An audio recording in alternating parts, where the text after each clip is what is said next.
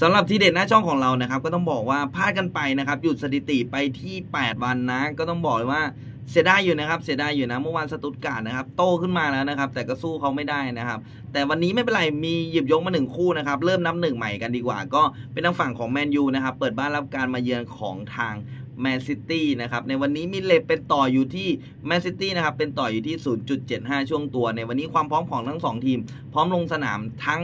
ทั้งหมดเลยนะครับ แต่ก็มีนักเตะที่บาดเจ็บที่ไม่สามารถลง สนามอยู่ได้อยู่เป็นบางรายในวันนี้นะครับเลทที่เปิดออกมาในวันนี้ 0.75 เป็นเลทที่น่าสนใจเลย แต่ส่วนตัวแล้วขอไม่มองเลือกซ้ายหรือเลือกขวานะครับ ในวันนี้นะขอมองไปที่สกอร์ต่ำนะครับ3ช่วงตัวใครที่ชอบเหมือนกันนะครับ ก็ไปด้วยกันได้นะ และถ้าใครอยากมาเล่นด้วยกันนะครับ ไปที่หน้าช่องได้เลยนะครับเข้าช่องทางการเข้าครอบครัวนะครับ อยู่ด้านใต้โปรไฟล์นะแล้วก็ฝากไว้ด้วยนะครับสำหรับวันนี้ 1 ทีมที่น่าเชียร์น่าลงทุนนะครับ ก็